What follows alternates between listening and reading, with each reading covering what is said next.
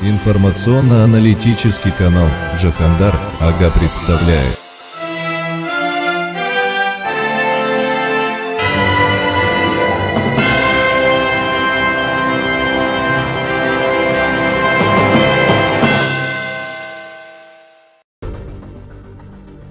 Преддверии Нового года депутаты фракции Армения по пяти направлениям посетили армянских военнослужащих, несущих боевое дежурство на приграничной передовой линии Армении. Среди них был и бывший министр обороны Армении Хромой Сейран Аганян, который в частности сказал Я вновь настаиваю на том, что армия – это та структура, которая первой и самой быстрой сумеет выпрямить израненную спину и восстановить свою славу победителя и авторитет. Мы глубоко убеждены, что армянская армия с ее традиционным боевым духом, непоколебимой решимостью продолжит борьбу и еще одержит новые победы. Мощно. Очень понравилось насчет сумеет выпрямить израненную спину. Не станем ерничать, а спина ли это вообще? Просто вспомнил историю о том, как Дракула после сражения награждал тех из своих солдат, которые были ранены в грудь, а тех, кто был ранен в спину, приказывал казнить за трусость. В общем, господин Огонян проговорился. Мог бы и прямо сказать, обращаясь к солдатам, «Я знаю, что если бы эти азербайджанцы вас догнали, вы бы им всем показали бы. Считай, что уже показали, а мы увидели». Но когда читаешь заявление Огоняна, волей-неволей закрадывается мысль, а нужен ли нам вообще с вами мир? Вообще-то это ваша вина. Вы столько лет уверяли нас в том, что мы генетически несовместимы. Поэтому мы уже начинаем в это верить. А после пассажа насчет армянская армия еще одержит новые победы, исчезают последние сомнения. Как и чем вы собираетесь? Нет, даже не побеждать, а просто воевать. С оружием у вас проблемы, с демографией тоже. Да и с деньгами не густо.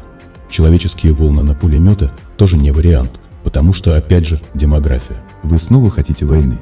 Господи, как же вы нам надоели, неугомонные наши. Учишь вас, учишь, а все равно одни двойки. Хотя бы посмотрите на карту и просто задумайтесь, где вы и где ваше завтра. Где и с кем. Просто отбросьте ненависть к окружающим и включите логику. Сравните ресурсы Армении, количество населения и бюджет на следующий год с аналогичными показателями ваших соседей. И еще раз хорошо подумайте, стоит ли слушать одноногого человека. Тут я предвижу упреки на мой адрес в бестактности. Но это ничего, потому что молодец не столько тот, кто потерял на войне ногу, а сколько тот, кто ту ногу ему оторвать сумел. Упаси Аллах от горя. Но одноногий и вас искалечит, если вы ему поверите и не забудете о реванше. Осмелюсь дать вам один совет. Примите не в ущерб и не в скорбь. Фантазия, соседушки наши, воплощают не так.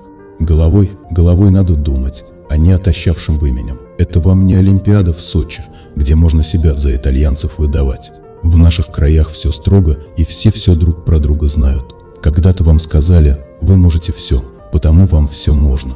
Но вас в очередной раз обманули, потому что вы не извлекли уроков из своего же прошлого. В конце 19 века, а потом в 1915 вам говорили то же самое, а обещали еще больше.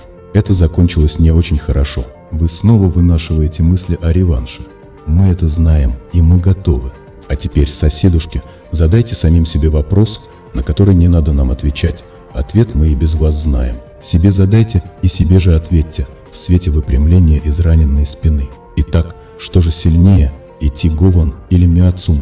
Лично я ставлю на идти Гован. За здоровье и силу операторов которого в старую новогоднюю ночь выпьет весь наш многонациональный Азербайджан. С наступающим, товарищи!